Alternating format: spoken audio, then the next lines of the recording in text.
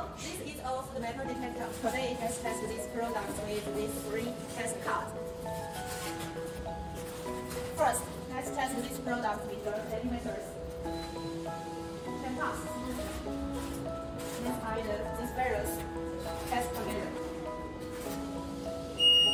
Then it. Change the test card. No frames.